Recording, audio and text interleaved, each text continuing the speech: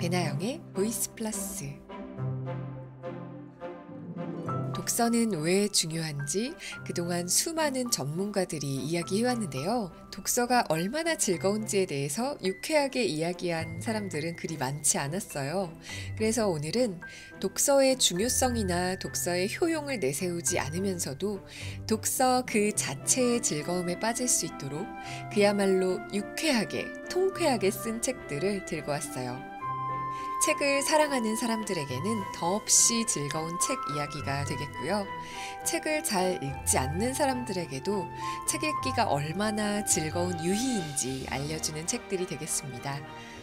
앞으로 어떤 책을 더 읽어볼까 고민하시던 분들에게는 새로운 세계를 열어주는 문이 되겠죠. 책을 사랑하는 사람들이 쓴 책에 대한 글, 책에 대한 책이에요. 읽기만 해도 책을 사랑하는 마음이 전해져서 더불어 즐거워지는 책들, 앞으로 읽고 싶은 책들이 더욱 늘어나게 만드는 책들입니다. 자, 지금부터 책을 소개하는 책을 소개할게요. 책 마니아를 위한 유희로운 책. 독서의 기쁨. 김겨울 지음. 초록비책공방. 아마 배나영의 보이스 플러스를 들으시는 여러분들이라면 다른 북튜버님들도 팔로우를 하고 계실 듯 한데요. 북튜버 김겨울님은 다 아시죠? 김겨울은 겨울 서점의 주인장으로 유명해요. 의외로 많은 분들이 도대체 겨울 서점은 어디에 있냐고 물어본다고 하시던데요. 저도 다시 한번 말씀드릴게요. 겨울 서점은 실제 서점이 아니라 북튜버 김겨울님이 운영하는 유튜브 채널의 이름이에요. 오늘은 북튜버 김겨울님이 아니라 어, 책을 쓰신 작가님으로 소개를 해드리는 거니까 김겨울 작가님이라고 부를게요. 김겨울 작가님은 고려대학교에서 심리학과 철학을 공부하셨어요. 그래서 그런지 이 전공이 뒷받침해주는 충분한 철학적 사유에다가 라디오 DJ의 경험, 또 싱어송라이터를 하신 경험을 더해서 이렇게 책을 이야기하는 공간을 만드셨어요. 책을 좋아하는 사람이라면 아마 누구나 사랑에 빠질 수밖에 없는 이 겨울 서점이라는 유튜브 채널도 굉장히 매력적인데요. 저는 이 책, 독서의 기쁨이 얼마나 매력적인 책인지 말씀드리고 싶어요. 김겨울 작가님은 상당한 애서가이자 진중한 독서가랄까요? 어, 책의 물성이나 정신성을 다룬 책이라니 하면서 읽기 시작했는데 책의 물성을 다룬 정신성을 다룬 그리고 그 안에 녹아 있는 책의 이야기가 아주 흥미진진합니다. 김겨울 작가님의 단단한 책 내공이 책 안에 고스란히 드러나요. 그래서 이 책에 코를 박고 읽다 보면 그 이키 유튜브 채널에서 보여주신 바 있는 소소한 유머 감각이랄지 또 문장력이랄지 이런 것에 끊임없이 감탄하며 읽게 됩니다.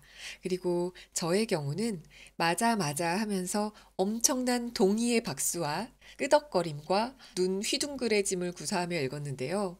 왜냐하면 책 덕후의 엄청난 덕력을 아주 세심하게 드러내 보이시더라고요. 그 부분 잠깐 소개해 볼게요. 일부의 물성과 정신성 중에서 정신성 부분에 있는 글인데요. 소설과 시 읽기라는 제목으로 소설에 대한 글을 이렇게 남기셨어요. 개인적으로 선호하는 소설은 아시아와 영미 소설을 제외한 국가, 이를테면 유럽이나 남미권의 소설이다. 맛에 대한 취향이 학습의 결과이듯이 책에 대한 취향도 학습의 결과다. 어릴 때부터 조금씩 형성되어 온 호호가 쌓여 지금의 취향을 만들었다. 이건 정말로 탐식의 과정과 비슷하다. 예를 들면 처음 읽은 남미 소설이 가브리엘 가르시아 마르케스의 백년의 고독이었는데 태어나서 처음 먹어보는데 눈이 튀어나올 만큼 맛있는 그런 음식을 먹었을 때의 기분이었다. 세상에 이런 맛이 있었단 말이야? 왜 나에게 아무도 얘기해주지 않았어? 그리고는 보르헤스의 유명한 작품을 몰아서 읽었고 조금 건너가서 주제 사람하고의 소설을 읽었다.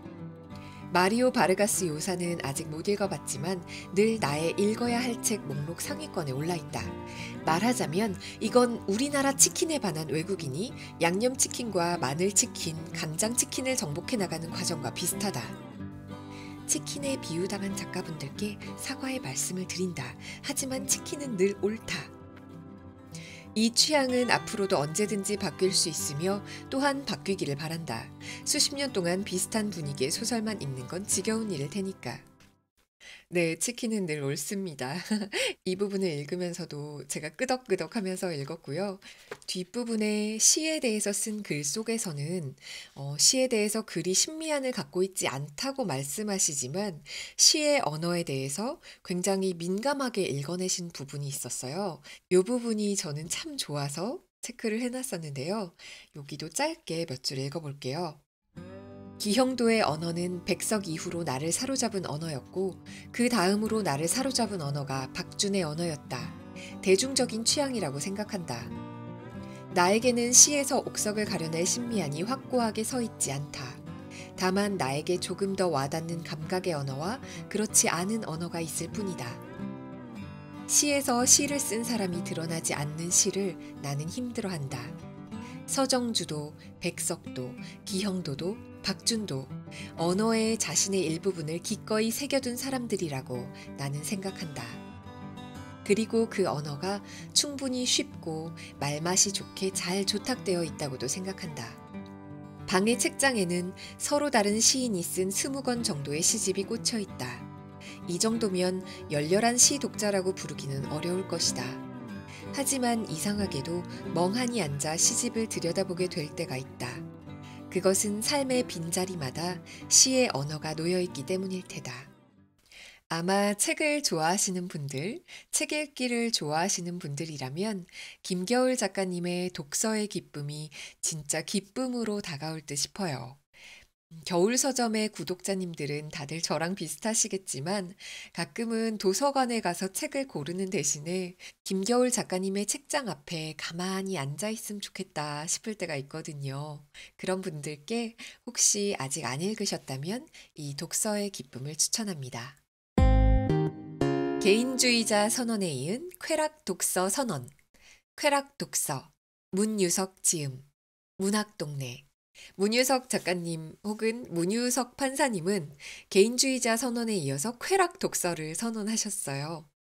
문유석 판사님의 책을 읽으면 아, 세상에 이런 판사님만 있으면 참 좋겠다는 생각이 들더라고요.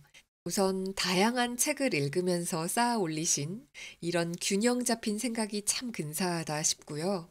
책을 읽으면서 느낀 점에 대해서 이렇게나 솔직하게 이야기할 수 있는 용기와 표현력이 참 대단하시다 싶고요.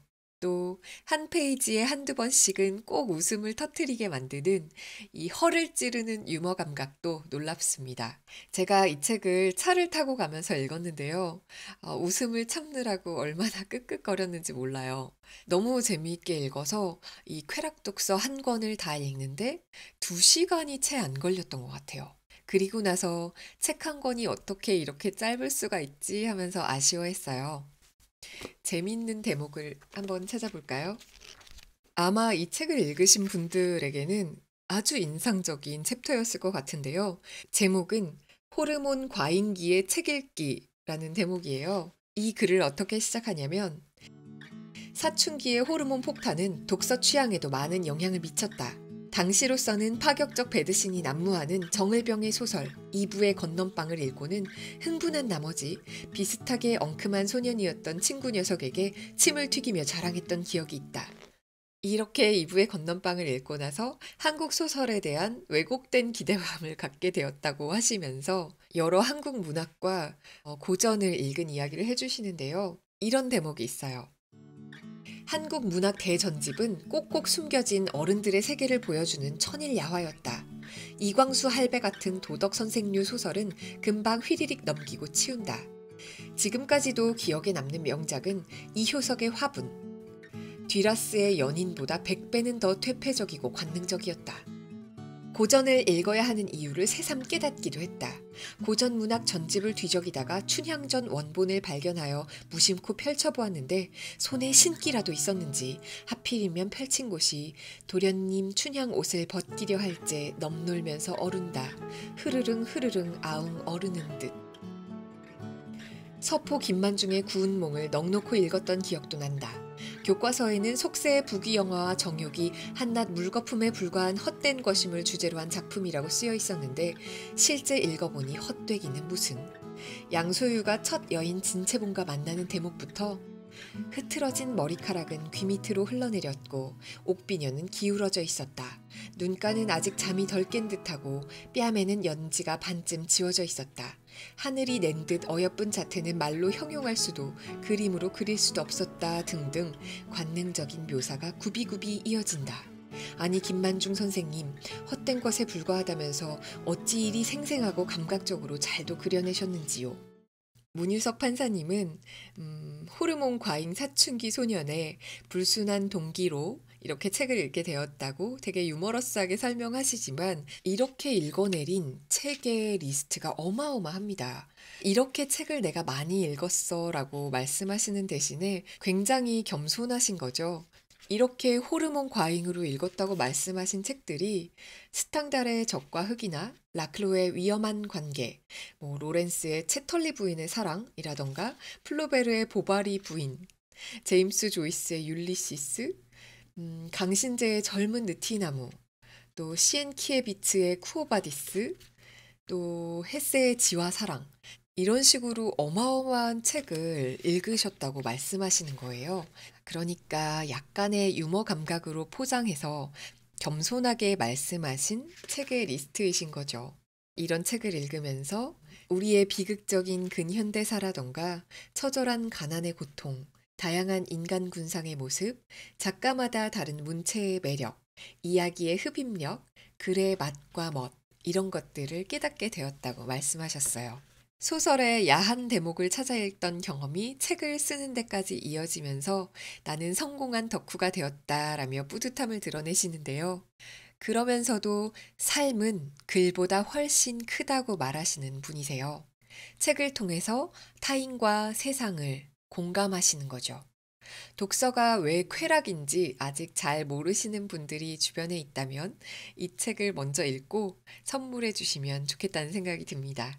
한 권의 책이 나의 세계로 확장되기까지 출판하는 마음 은유 지음 제철소 저는 은유 작가님의 책은 언제든 믿고 사봐요. 전에도 한번 소개해 드렸지만 삶이 뚝뚝 묻어나는 논픽션을 주로 쓰시는 작가님이시죠. 출판하는 마음이라는 이 책은요, 한 권의 책이 만들어지고 음, 독자의 손 안에 들어오기까지의 과정에서 알게 모르게 개입하는 사람들, 책에 애정을 담아내는 사람들을 인터뷰한 인터뷰 모음집이에요. 다른 사람의 마음을 엿보는 일은 그 자체로 꽤나 두근거리는 일인데요. 은유 작가님의 시선으로 다른 사람들의 마음을 읽을 수 있어서 참 좋았습니다. 인터뷰 집이라서 문학 편집자, 번역자, 북 디자이너, 출판 마케터, 온라인 서점 MD, 서점인, 1인 출판사 대표에 이르는 10명의 이야기가 담겨 있어요. 은유 작가님이 책 속의 프롤로그에서 이 인터뷰에 대해 직접 소개하신 부분을 읽어볼게요. 이 책에 나오는 인터뷰이들은 모두 10명이다. 편집자는 역할의 중요도와 분야의 특성을 감안해 문학 편집자 김민정과 인문 편집자 이환희 두 명을 진행했다.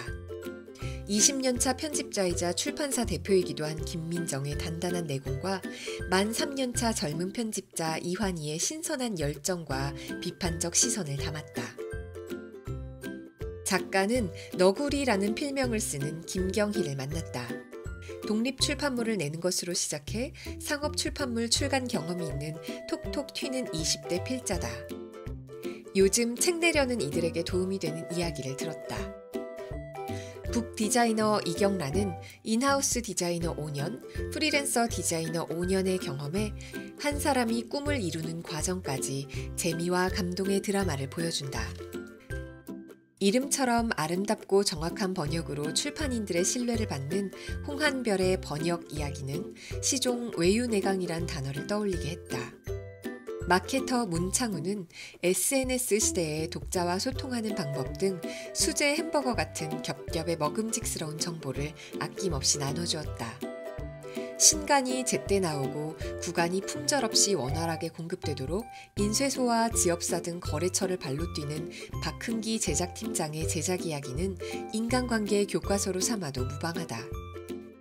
인문 편집자로 4년, 인터넷 서점 MD로 8년을 일한 박태근은 상품으로서 책이 어떻게 팔려나가고 베스트셀러가 되는지 생생한 언어로 전해주었다. 책을 좋아하는 사람이 가질 수 있는 직업으로 편집자와 서점인을 두루 경험한 정지혜의 이야기는 자기만의 색깔 있는 서점 창업을 꿈꾸는 이들에게 귀감이 될 것이다. 혼자서 기획, 편집, 마케팅, 제작을 총괄하는 이정규의 1인 출판사 분투기는 출판의 총정리편이나 다름없다. 이상 10명을 인터뷰로 선정한 객관적인 기준일랑 없고 굳이 찾자면 나쁜 마음으로 일하지 않는 사람들이다. 저도 책을 쓰는 작가라서 그런지 한 권의 책이 나오는 과정에서 만날 수 있는 사람들에 대한 이 책을 참 흥미롭게 읽었어요. 물론 저는 여행 분야이고 또 에세이도 아닌 가이드북을 쓰는 실용서 작가이긴 합니다만 이 출판하는 마음을 읽으면 책을 좋아하는 사람에 대한 동질감이랄까요? 그런 걸 느낄 수가 있고요. 은유 작가님이 쓰셔서 더 그럴 수도 있는데 타인의 노동을 존중하는 마음이라던가 같이 일하는 동료로서 입장을 헤아리는 마음이 전해져요. 저는 이 책을 읽으면서 책 속에 나오는 굉장히 많은 책들을 온라인 서점의 북카트에 담았습니다. 여러분들도 출판의 과정이 궁금하시다거나 책을 만드는 사람들이 궁금하시다거나 또 책 만드는 사람들의 마음이 궁금하시다면 이 책을 재밌게 읽어보실 수 있을 것 같습니다. 오늘은 책을 사랑하는 사람들을 위한 책을 소개하는 책. 김겨울 작가님의 독서의 기쁨, 문유섭 판사님의 쾌락 독서, 은유 작가님의 출판하는 마음까지 이렇게 세 권 소개해드렸어요. 책에 대한 갈증이 있으셔서 이렇게 북튜브를 구독하시는 분들이라면 참 좋아하실 만한 책들이에요. 이번 한 주도 책과 함께 즐거운 시간 보내시기 바랍니다. 행복하고 따뜻한 날 되세요. 배나영의 보이스 플러스